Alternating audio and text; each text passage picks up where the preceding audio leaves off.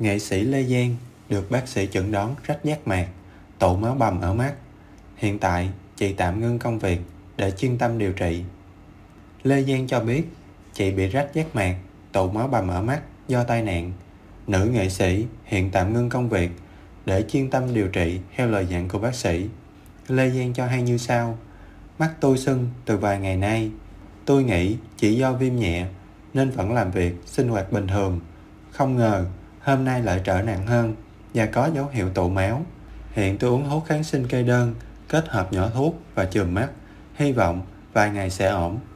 Theo Lê Giang, chị rất ngại khi phải thông báo tình trạng sức khỏe, khiến mọi người lo lắng. Xong, chị mong các đồng nghiệp, ekip các chương trình có thể thông cảm cho mình vì việc bất khả kháng. Trên trang cá nhân, nữ nghệ sĩ cũng bày tỏ buồn vì những ngày cuối năm, nhiều việc nhưng đành phải tạm gác lại. Nhiều bạn bè, nghệ sĩ như Đàm Vĩnh Hưng, Khả Như, Hu Trang, Cát Tường, Lê Dương Bảo Lâm, Ngô Kiến Quy đã để lại bình luận quan tâm chúc chị mau chóng bình phục.